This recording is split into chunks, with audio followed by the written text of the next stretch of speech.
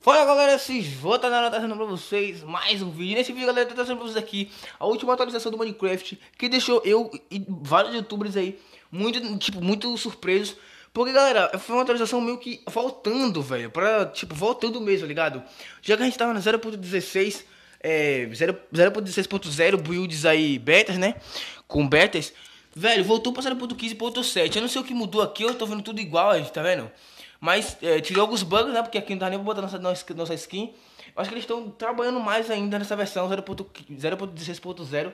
Por isso que eles voltaram aí pra atualização 0.15.7, beleza? Bom, é uma atualização nova aí, né?